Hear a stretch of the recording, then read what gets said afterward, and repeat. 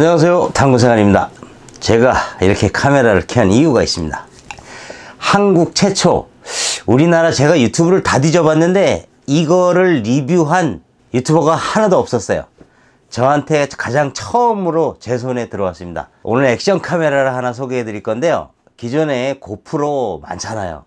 많은 분들이 액션 카메라 하면 가장 먼저 떠올리는 게 아마 고프로가 아닐까 생각합니다. 하지만 거의 똑같은 기능을 갖추고 있고 똑같은 기능에 똑같은 사이즈에 딸리지 않는다면 가격이 싸면 얼마나 좋겠습니까? 하지만 고프로는 가격이 굉장히 비쌉니다.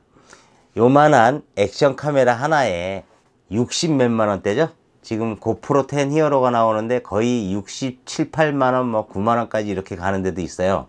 그런데 제가 오늘 소개해 드릴 카메라는 바로 이겁니다. 아카소에서 나온 브레이브 8 알맹이만 한번 보여드릴게요. 자 이렇게 브레이브 8 보이시죠? 고프로하고 거의 똑같이 생겼어요. 그죠? 이 카메라를 제가 오늘 소개를 해 드릴 건데요. 우선 사용 방법은 고프로와 거의 똑같아요. 뭐 드래그 하는 방향만 살짝 다를 뿐이지 사용 방법은 고프로하고 거의 똑같고요. 제가 며칠 동안 이걸로 촬영도 해보고 많이 해봤는데요 괜찮은 것 같아요. 요게 30만원대.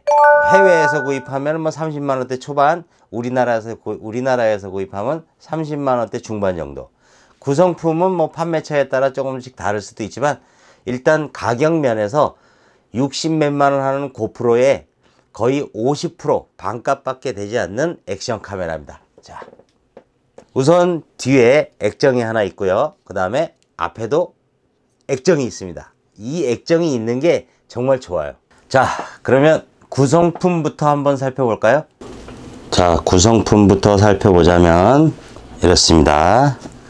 그리고 이 박스 안에 박스를 열면 이렇게 구성품이 가득 들어 있습니다. 자 많이 들어 있죠? 여기 뭐 이렇게 닦는 것부터 시작해서 이거는 케이블 타이 어디에 고정시킬 때 매달거나 할 때 사용하는 거고요. 여기 뭐 많아요?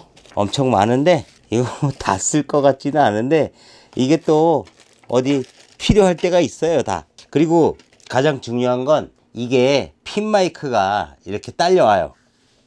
이 고프로에서 이거 하나씩 핀 마이크 하나 따로 구입하려면 보통 9만원 뭐 8만원 이렇게 가요. 고프로는 유난히 이 브라켓이나 부속이 비싸요. 그런데 브레이브 8은 다행히 여기에 핀 마이크를 이렇게 딱 끼우게 나와요. 그래서 핀 마이크까지 다 포함이 되어 있어서 너무 좋은 것 같아요. 그리고 가장 중요한 거 리모컨이 됩니다 리모컨. 보이시죠? 리모컨이 따로 들어있어요. 리모컨도 조정을 할 수가 있습니다 켜서 리모컨으로 껐다 켰다가 가능한 거고요. 이 리모컨 사용법에 대해서는 제가 자세하게 언급하지 않겠습니다. 이것은 여러분들이 누구든지 사서 보다 보면 다 금방 알 수 있는 거기 때문에 리모컨 사용법은 따로 하지 않고요. 어떻게 생겼는지 지금부터 브레이브 8에 대해서 자세하게 보도록 하겠습니다. 자 우선 가까이서 보면 이렇게 생겼고요. 자 보이시죠 왼쪽 왼쪽에 파워 버튼. 그리고 오른쪽은 영상을 찍고 안 찍고 녹, 녹화 시작 멈춤. 그 다음에 여기 오른쪽에는 이제 모드 버튼이 있어요. 모드. 그 다음에 여기 이제 버튼이 여기가 SD 카드 들어가는 부분인데요. 아 여기 아주 잘 돼 있어요. 이거를 밑으로 살짝 탁 내리고 탁 열면 되, 되게 돼 있습니다. 그리고 여기에 SD 카드와 충전 단자 충전 단자가 있고요. 그리고 요 밑에 배터리 배터리 교환하는 쪽도 이렇게 왼쪽으로 이렇게 탁 밀면은 얘가 탁 열려요. 이거는 고프로보다 훨씬 잘 돼 있는 것 같아요. 고프로는 그냥 잡아 뜯어서 열어야 되는데. 그리고 배터리 이렇게 빼고요. 자 배터리 보이시죠? 그리고 자 파워 버튼을 켜 보겠습니다. 길게 누르면 됩니다. 자 아카소라고 켜지죠 자 현재 배터리가 77% 있고요 지금 요 네모칸은 제가 여기서 이렇게 드래그 하면은 이제 카메라에 사진을 찍을 건지 영상을 찍을 건지 그 다음에 지연 시간 격차 이거는 타임랩스 타임랩스를 찍은 건지 이렇게 나오는 거예요. 그 다음에 여기서 선택을 하셔서 찍으시는 다음에 한번 클릭하면은 초기화 창으로 다시 넘어가고요. 그 다음에 왼쪽으로 드래그를 하면 재생 지금까지 촬영했던 영상들을 볼 수 있는 게 되고요. 위에서 아래로 스크롤하면 여기에는 뭐 이렇게 인물이라든가 이런 거를 선택할 수 있게끔 되어 있어요.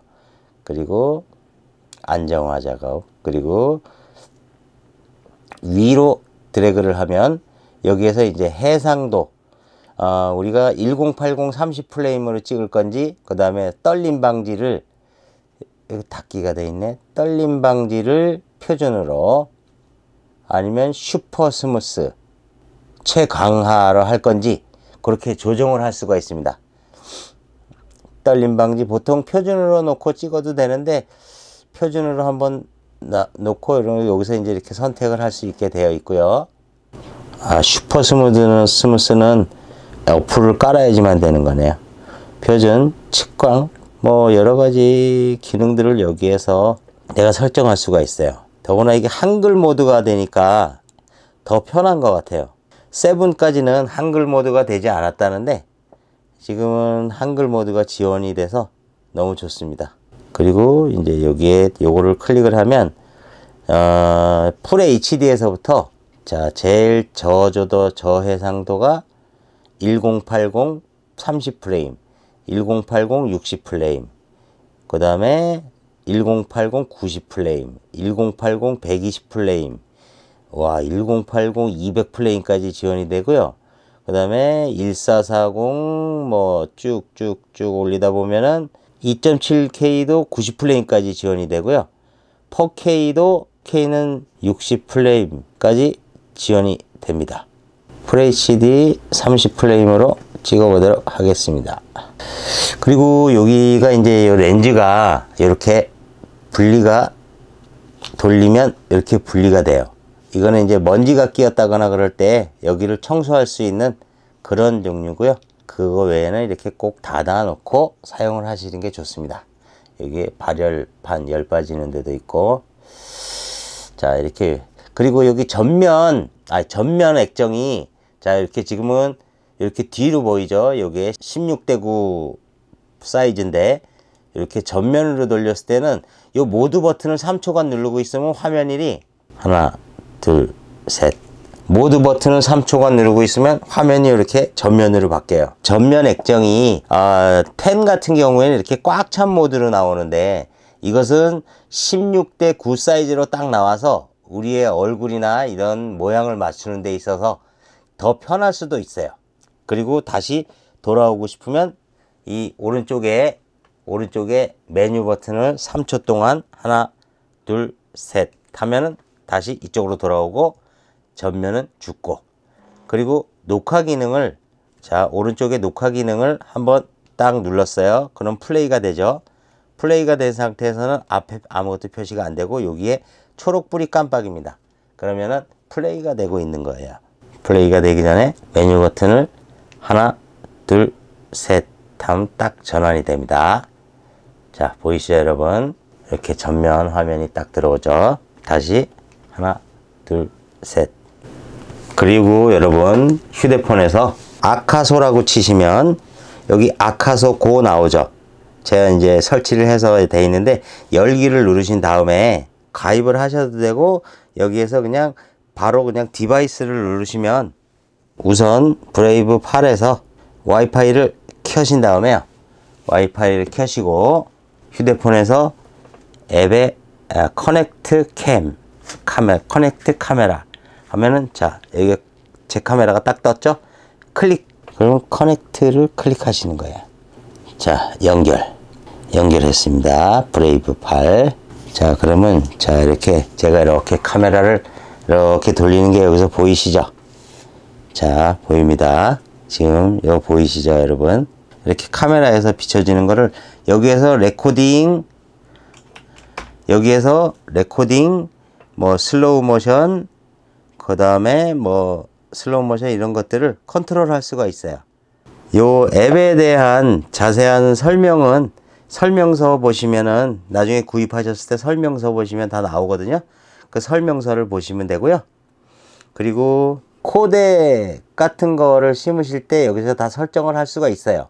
이 앱에서 앱에서 설정을 코덱이라든가 그 다음에 내가 내보내기 할 때의 그런 저장 저장 파일 형식 이런 것들을 다 앱에서 상세하게 설정할 수가 있습니다.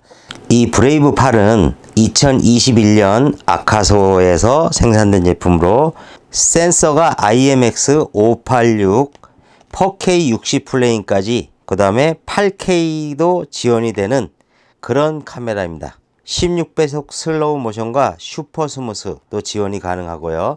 dual color 화면에 외부 마이크 음성도 다 녹음이 됩니다. 그리고 또 한 가지 5배 확대 축소가 가능합니다.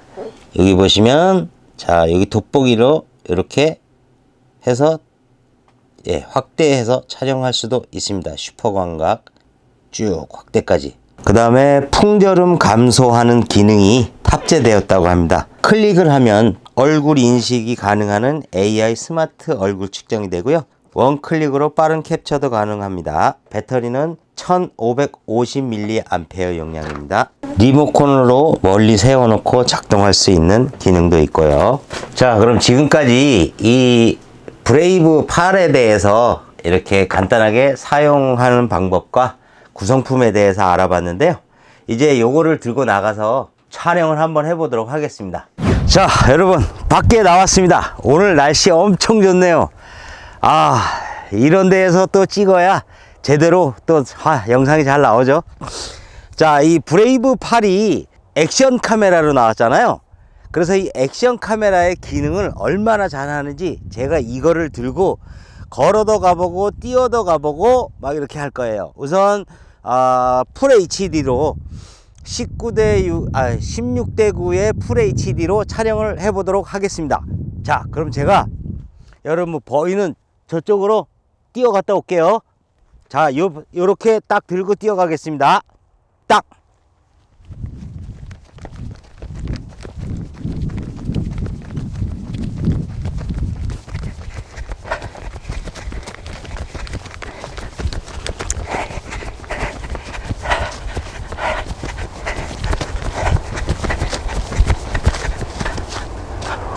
예, 뛰어가고 있어요. 제가 뛰는 모습 보이시나요? 뛰어가고 있는데 지금 얼마나 흔들리는지 한번 보시기 바랍니다. 아유, 아 힘들어. 아. 자, 지금은 걷고 있는 모습이에요. 걸어가고 있습니다. 아. 아. 아휴, 왜 이렇게 힘들어. 조금, 조금 뛰었더니 숨이 차네. 자, 이번에는, 자, 이 강을 제가 4K와 2.7K FHD로 촬영을 해보는데 화각이 얼마나 당기는지 한번 보겠습니다. full HD 30 프레임입니다. full HD 30 프레임.